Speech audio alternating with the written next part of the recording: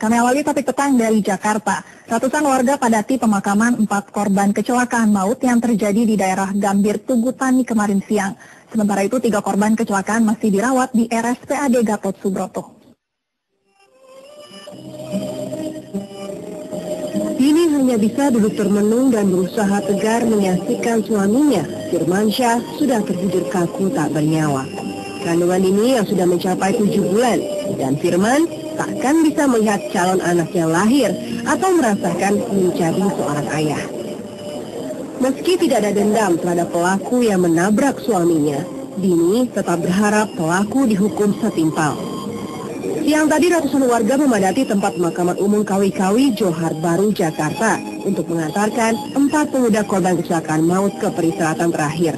Keempatnya adalah Muhammad Huzaifah alias Ujai, Firmansyah, Muhammad Akbar, dan Buhari, warga RW 07 Kelurahan Tanah Tinggi, Johar Baru, yang dimakamkan nyaris berdekatan satu sama lain. Dan dalam waktu yang hampir bersamaan pula. Pertemanan keempat pemuda ini begitu erat dan masih memiliki pertalian saudara. Namun siapa sangka, kedekatan itu pun masih terjalin hingga maut merenggut nyawa. Hingga kini masih ada tiga korban yang dirawat di RSPAD Ketut Subroto. Salah satunya kritis dan menjalani operasi siang tadi. Sementara itu, salah satu korban selamat, Akbar Ramadan, masih sering menangis jika mengingat peristiwa kecelakaan maut yang merenggut nyawa empat sahabatnya. Demikian laporan Diana Harisma dan Didin Iswandani dari Jakarta.